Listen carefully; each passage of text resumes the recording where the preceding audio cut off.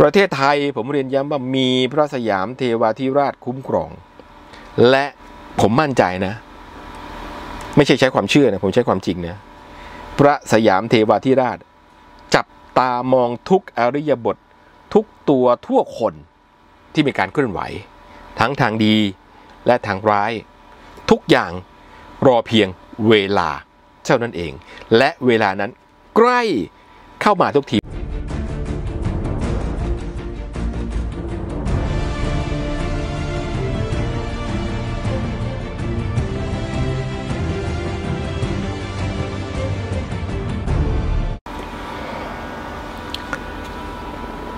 สวัสดีครับ มาพบกับผมเทิดศักดิ์เจียมกิจวัฒนาครับ วันนี้ก็สวัสดีหุ้นส่วนฮะที่รับชมทุกแพลตฟอร์มของสำนักข่าววิหกนิวส์นะครับ วันนี้ประเด็นที่น่าสนใจนะครับ คงเป็นเรื่องของดีลลับที่ล่มไปแล้ว ไปดูในเชิงปรากฏการณ์กันก่อนฮะแล้วก็สู่กระบวนการวิเคราะห์แล้วก็สู่กระบวนการสังเคราะห์กัน วันนี้ถ้าดิวได้ขายขาดจบลงอย่างเบ็ดเสร็จ ก็คงจะสั่งไม่ฟ้องกันไปแล้วนะครับ คิดเป็นอื่นไม่ได้ เพราะฉะนั้นเนี่ยนะครับ วันนี้เราเองก็ยังเห็นว่ามันยังมีร่องรอยที่ยังไม่จบสิ้น เพราะถ้าถ้าต้องการความจบสิ้นนะครับ ก็สั่งไม่ฟ้องหมายความว่าเบ็ดเสร็จขายขาดนะครับร้อยเปอร์เซ็นไปแล้วนะครับทำอะไรก็ได้นะครับท้าทายสังคมอย่างไรก็ได้ แต่โดยข้อเท็จจริงนั้นวันนี้ก็ปรากฏชัดว่ามันยังไม่จบ เพียงแต่ว่าระยะเวลามันได้ถอยร่นออกไป แม้ว่าเนี่ยนะครับ จะเลื่อนไปหลัง 11 พฤษภา แต่อย่างที่ผมพูดกันมาหลายวันว่า หลังจากสวหมดวาระในวันที่ 11 พฤษภาเขาก็จะทำหน้าที่ จนกว่าจะมีสวชุดใหม่ ซึ่งไม่รู้ว่า 6 เดือนจะได้หรือเปล่าหรือจะมากกว่านั้น และท้ายที่สุดเมื่อมีเหตุ คนก็จะมีการยื่นให้ตีความว่า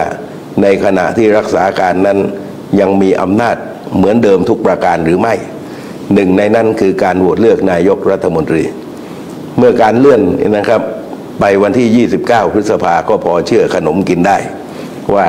ทิศทางถัดจากนี้ไปเรื่องนี้มันจะไปจบลงอย่างไรนะครับ เพราะฉะนั้นในระหว่างนะครับ ระหว่างนี้อย่างที่ผมบอกว่า ถ้าการดิวนั้นยังฝ่ายที่เป็นคู่ดิว ยังมีจิตใจนักเลงนะครับ ยังมีจิตใจที่รับผิดชอบต่อการดิว ไม่ได้เป็นดิวที่กระจอกงอกง่อยเนี่ยนะครับเขาก็ต้องดำรงความมุ่งหมายต่อไป เพียงแต่ว่าเวลาที่ดีเลย์กันออกไป ก็ดีเลย์ประเภทยกชุด ในส่วนกรณีของพรรคก้าวไกลนะครับ ฟังท่านประธานสารรัฐธรรมนูญ ให้ข่าววันนี้ว่าก็มีการขยายเวลาไปอีก 15 วัน นับตั้งแต่วันที่ 17 ก็ข้ามเดือนครับแปลความกันว่า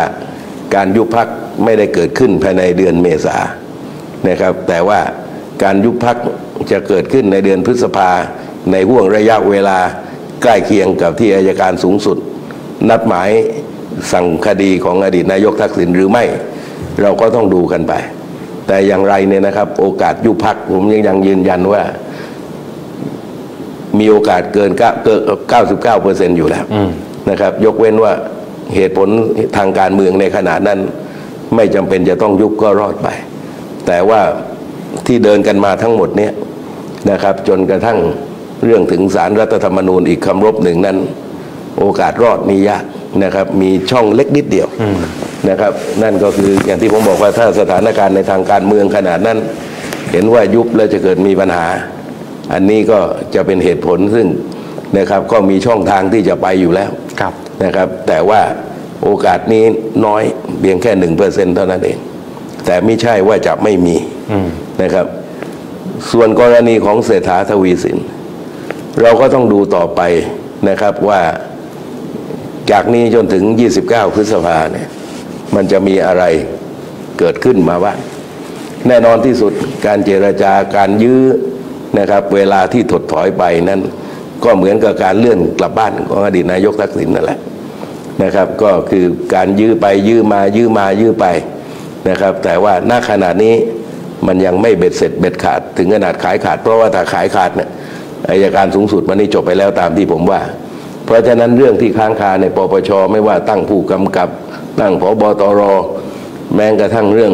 การใช้รถหลวงไปบ้านจันทร์ส่องหล้าชี้ตอนไหนก็ยุติการปฏิบัติในหน้าที่ตอนนั้นเนี่ยนะครับ เราก็ต้องดูสถานการณ์ถัดจากนี้ไป เรื่องเงิน digital wallet เรื่องเงิน digital wallet นั้น การแถลงครั้งนี้จะเป็นครั้งที่ห้าครั้งที่หกไปแล้วนะครับ นับตั้งแต่การหาเสียง ในแต่ละครั้งก็สร้างความหวังโดยตลอดนะครับ ซึ่งความหวังที่มาของเงิน แต่ละตอนก็ไม่เหมือนกัน จนกระทั่งครั้งนี้ เพราะฉะนั้นผมบอกไปยังพี่น้องประชาชนว่า ครั้งนี้ก็อาจจะเหมือนทุกครั้งที่ผ่านมาก็ได้ เพราะว่าถ้ามันเป็นจริงได้อย่างง่ายดายนั้น มันไม่มีครั้งที่สองหรอกแต่การเนี่ยนะครับพูดไม่เหมือนกันตลอดระยะเวลาร่วมห้าครั้งหกครั้งนั้นเนี่ยมันชี้ให้เห็นแล้วว่าทุกอย่างมันหาความแน่นอนไม่ได้ แน่นอนในแต่ละขณะ แต่ไม่ได้แน่นอนในปฏิบัติ ในเชิงปรากฏการณ์หากนำมาวิเคราะห์นะครับ เราคงเห็นว่ากระแสข่าวดีลับ ดีลับ ดีลับที่พูดกันตั้งแต่ทักษิณชินวัตรเดินทางกลับมายังประเทศไทยตั้งแต่วันที่ 22 นะเดือนสิงหาคมพุทธศักราช 2566 เป็นต้นมานะครับก็มีการพูดลับดีลับกันมีข้อตกลงกันนะระหว่างสถาบันกับทักษิณวางข้อตกลงโน่นนี่นั่นนะและดีลับดังกล่าวนะฮะจะเกิดขึ้นเด็ดขาดเนี่ยวันที่ 10 เมษายน พุทธศักราช 2567 นะครับดีลับดังกล่าวเนี่ยจะเกิดการเปลี่ยนแปลงมีการหักดีนกันนะฮะและตกลงกันไม่ได้ ทักษิณจะต้องกลับเข้าคุก เพราะคดี1นึหรือใส่ร้ายในหลวงนะฮะซึ่งมีการพูดกันมาโดยตลอด ในขณะที่ล่าสุดพีรพันธ์สาลีเลวิภากษ์ยืนยันว่าไม่มีการเปลี่ยนนายกรัฐมนตรี ไม่มีการจะเอาพลเอกประยุทธ์และพีรพันธ์มาเป็นนายกรัฐมนตรีอย่างที่มีการอ้างว่าดีลับแต่อย่างใด พูดไปเองอ่าคือเป็นว่าหนึ่งเป็นลุงตู่ลุงตู่ไม่ออกมาเป็นทีละเออจะได้ไม่เอามาจากไหนก็นี่แหละในโซเชียลมันดูกันเยอะว่าไง ข่าว ข่าวอะไรเห็นเห็นมีข่าวว่าเตรียมเป็นนายกไม่มีครับ ไม่มีครับพูดกันไปเองสื่อก็คิดกันไปเองครับไม่มีดิวเดลอะไรไม่มีทั้งนั้นครับรวมถึงตัวท่านคนเองไม่มีครับท่านประยุทธ์ด้วยท่านก็ไม่เอกประเกี่ยุยทวธ์ข้องลุงแล้ตู่วของพวกเราท่านก็ ทำภารกิจหลัก ซึ่งเป็นภารกิจสำคัญของประเทศ แล้วก็ถวายในหลวงในเรื่องงานต่างๆอยู่แล้วนะครับท่านในยุ่งเรื่องการเมืองนะครับข่าวนี้อาจจะมาจากเพราะว่าท่านใกล้ชิดกับท่านพลเอกประยุทธ์ไม่นะครับ มาจากสื่อมั่วกันเองครับหุ้นส่วนจำได้ไหมครับ ผมเคยเรียนมาโดยตลอด ว่าดีลับไม่มีจริง และไม่ใช่ดีลับ และไม่มีการดีลับอะไรทั้งนั้น นะครับ ส่วนใครจะเข้าใจว่าเป็นดีลับ มันคือดีนมโน มโนไปเรื่อยๆ ตอนนี้ผมก็เห็นอาจารย์ของมหาวิทยาลัยเกษตรศาสตร์ บางท่านนะ ก็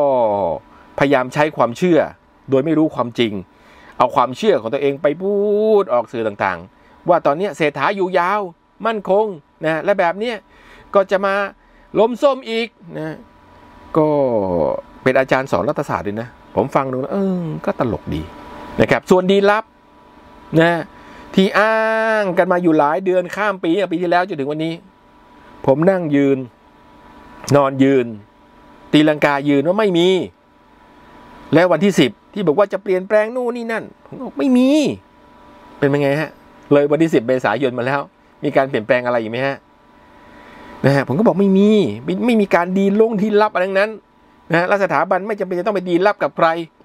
และไม่จำเป็นจะต้องไปดีลับ ไม่มีสาเหตุอะไรต้องไปดีนผมโปรดฟังอีกครั้งหนึ่งแล้วผมย้ำหลายรอบนะแล้วต้องไปถามผมอีกนะ ไม่มี ไม่มีการดีนไม่มีการวางข้อตกลงนะครับแล้วบอกเอานี่ที่เสแดงไปลังกาวีล่ะนะอ้างเพจเสแดงไม่มี ไม่ใช่ ไม่ใช่อย่างที่เข้าใจกัน สรุปไม่มีนะฮะวันที่ 10 เมษายนก็คงเห็นชัดเจนว่ามันคือไม่มีนะฮะ ส่วนใครจะมโนจะเพ้อว่ามีอย่างนั้นอย่างนี้ ผมก็ยืนยันเหมือนเดิมว่าไม่มี คุณก็ใช้ความเชื่อต่อไป ส่วนความจริงมันไม่มีนะครับ ส่วนที่มีการมโนกันนะฮะบอกว่าจะมีการเปลี่ยนตัวนะฮะพลเอกประยุทธ์มาเป็นนายกรัฐมนตรีอีกรอบหนึ่งจะลาออกจากองคมนตรี ผมก็เรียนว่าจนถึงขนาดนี้ไม่มีนะครับ จะมีการเปลี่ยนแปลงไหมจะเอาคุณพีรพันธ์มาไหมผมก็เรียนว่าจนถึงขนาดนี้ไม่มีคำยืนยันของคุณพีรพันธ์ก็คงชัดเจน ว่าไม่มีการดีลับกับพลเอกประยุทธ์ ไม่มีการดีลลับกับใครทั้งนั้น ไม่มีข้อตกลงอะไรทั้งนั้น ทุกอย่างเป็นไปตามกรรมนะฮะกรรมที่เกิดจากการกระทำนะฮะถ้าใครดูประวัติศาสตร์ย้อนหลังตั้งแต่ปี 2548 ตราบจนถึงปัจจุบัน แล้วเข้าใจอย่างลึกซึ้ง จะรู้ว่าอะไรกำลังจะเกิดขึ้นในภายหน้า ส่วนนักวิชาการอาจารย์ที่บอกโอ้ยเศรษฐาอยู่ยาวผมฟันธงเลยเศรษฐาอยู่ได้ไม่นาน ไม่นานเนี่ยเดี๋ยวก็ได้เห็น แต่ผมเรียนหุ้นส่วนว่ามันจะเปลี่ยนวิธีไหนจะยึดอำนาจเหรอจะปฏิวัติเหรอหรือจะรัฐประหารเหรอจะเป็นการเปลี่ยนแปลงรูปแบบไหน ผมเรียนหุ้นส่วนนะเป็นผู้ชมก็ชมไป ผมก็ผู้ชมนะก็ชมไปนะครับ ประเทศไทยผมเรียนย้ำว่ามีพระสยามเทวาธิราชคุ้มครอง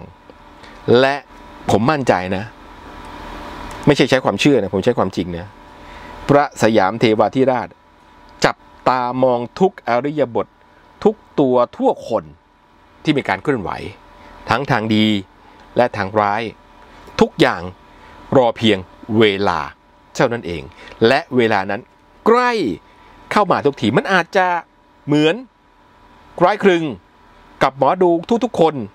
โดยเฉพาะหมอดูที่ชื่อวิสารัตเขาดูไว้ก็ได้นะครับหรืออาจจะไปตรงกับหมอดูคนอื่นที่เขาดูไว้ที่พูดเหมือนกันว่าไม่เมษายน ก็พฤษภาคม เศรษฐาทวีสินนะฮะร่วงจากตำแหน่งแน่นอน ขอบคุณที่บอกต่อ ขอบคุณที่แชร์ต่อ ขอบคุณที่เล่าต่อ ขอบคุณที่ร่วมสนับสนุนสถานี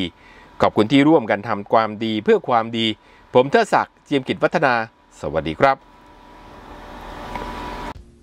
อย่าลืมกด subscribe และกดกระดิ่งด้วยนะคะ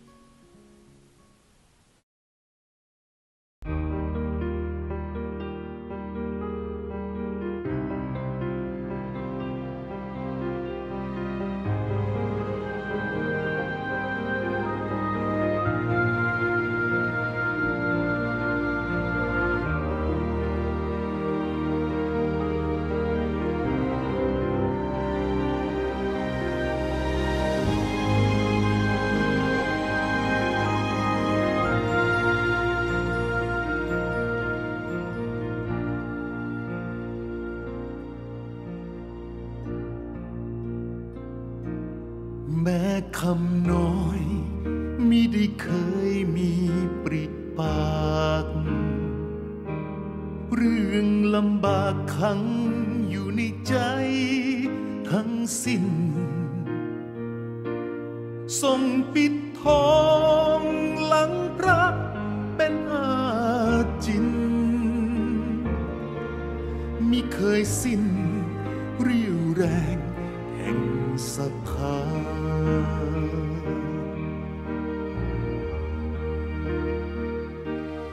กี่ร้อยเรื่อง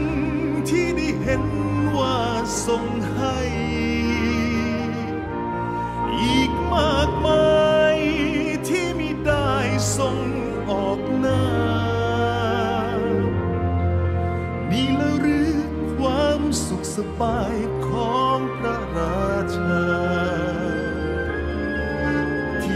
สานรักษาต่อยอดไทย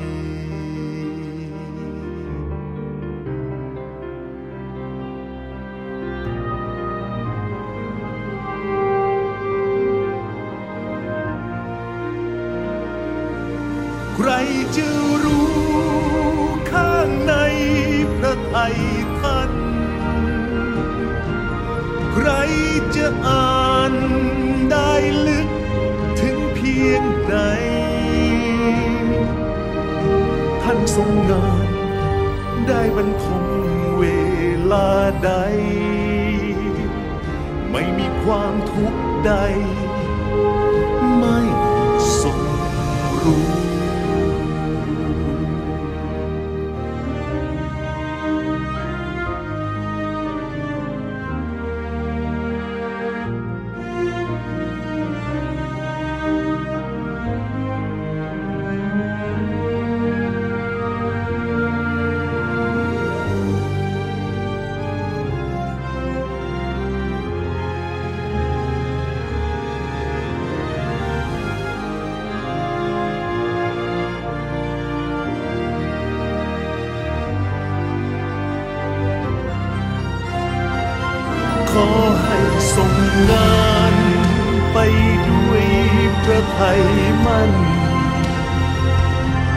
ข้าปวงไทย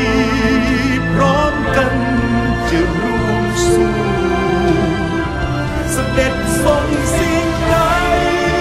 จะคอยเฝ้าดู และจะอยู่เบื้องหลัง